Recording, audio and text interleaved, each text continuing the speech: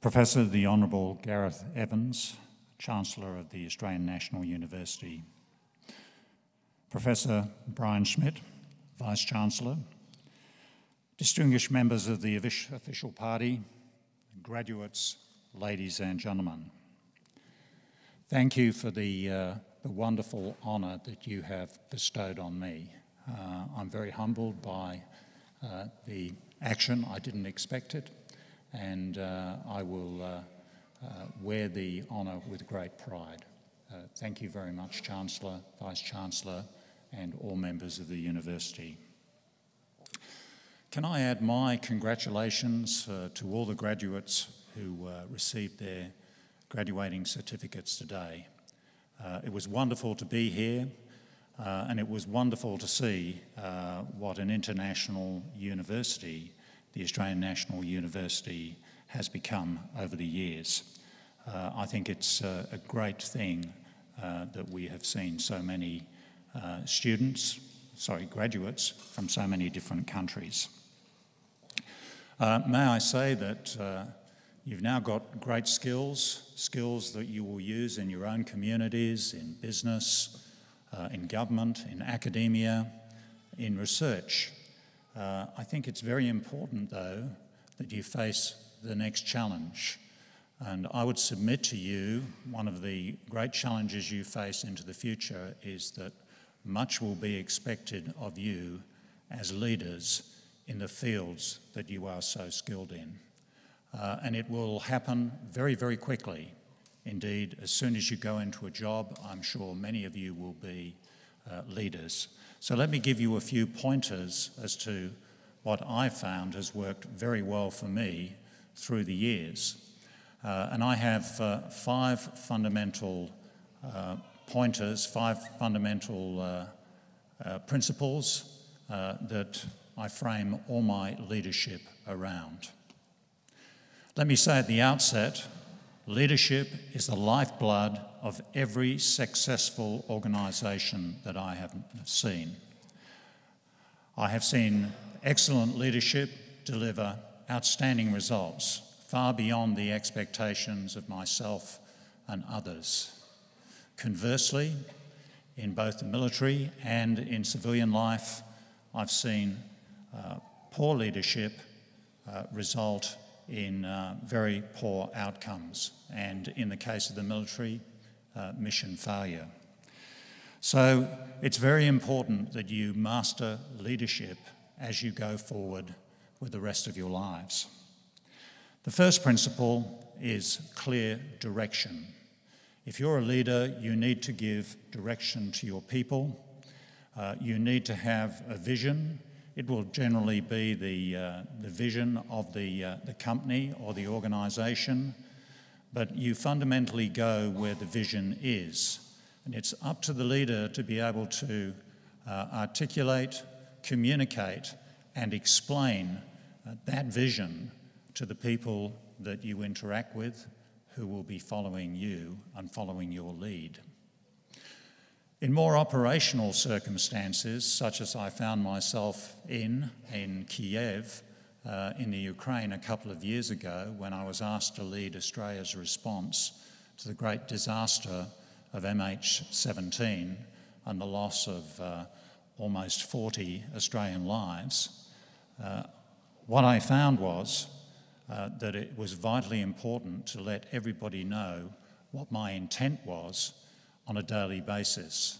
Um, by that way, we were able to uh, adjust what we needed to do on the basis of uh, how things had developed over the previous day or the previous few days.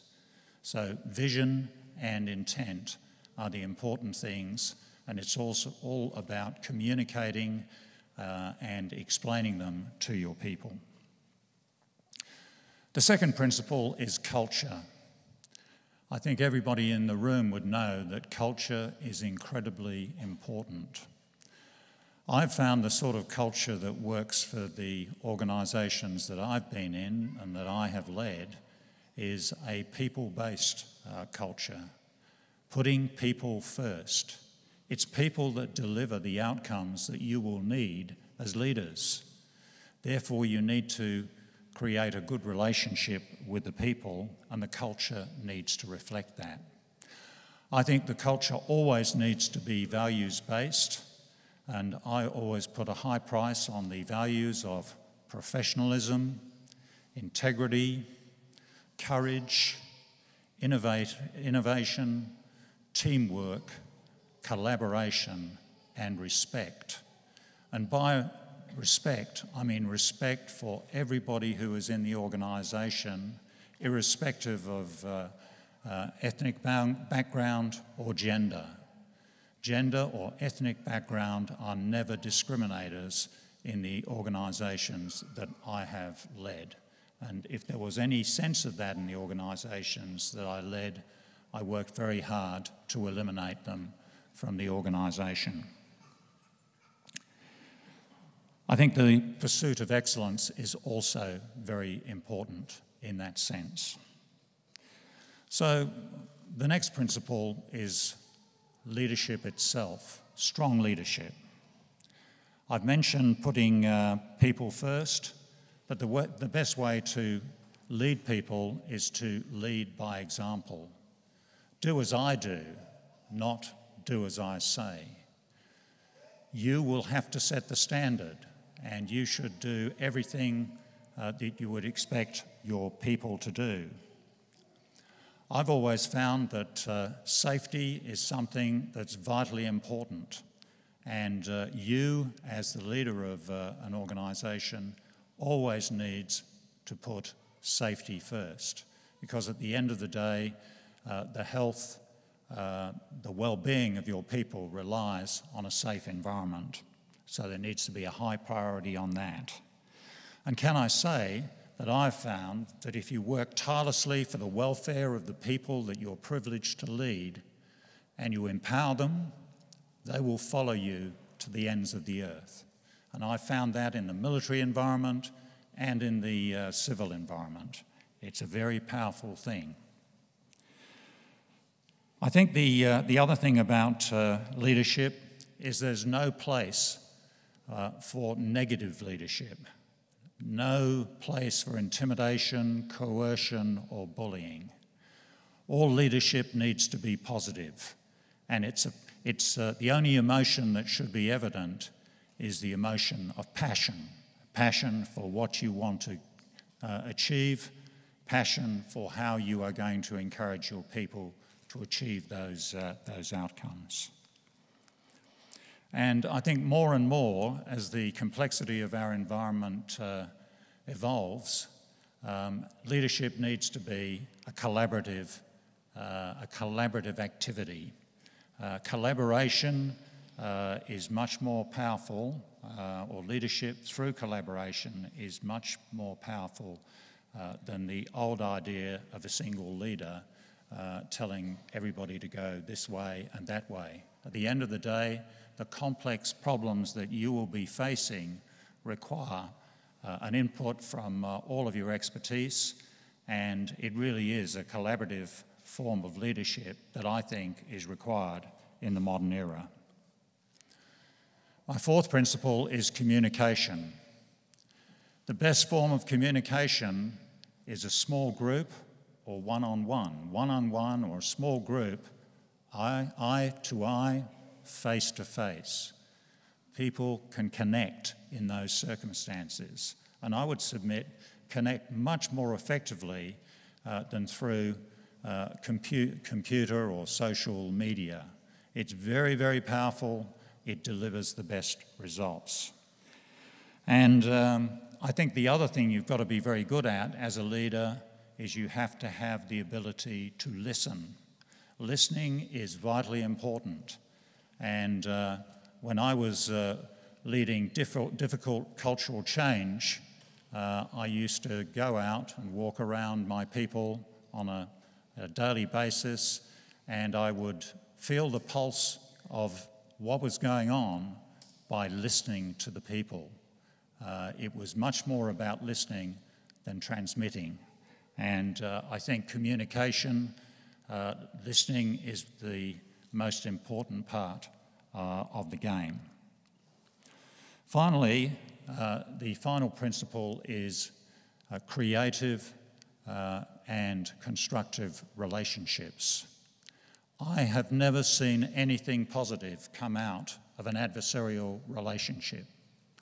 So I have always worked to have a constructive relationship that over time becomes a trusting relationship, a relationship that is full of integrity and trust will deliver fabulous outcomes, particularly when you get to the stage where you start to partner and work collaboratively. So it all comes from having a constructive relationship in the first place, and what you get is trust and integrity and fantastic outcomes over time. So that's really all I want to say. There's some simple little um, rules, experience, if you like, principles uh, that I have given you. Uh, I hope they are helpful to you as you go out on the, the wonderful lives that you have in front of you. It'll be a great journey. Uh, it will require leadership at all levels. Uh, never ever underestimate that somebody beneath you can also assist you in your leadership journey in achieving the outcomes you need to achieve. And at the end of the day, I think the higher you go, the further you go, uh, the more collaborative your leadership will become. And again, that will deliver great outcomes for you, be it business, government, or indeed uh, academia uh, in a research environment or in a teaching environment. So good luck, congratulations again, and it's been an absolute pleasure to be with you today. Thank you.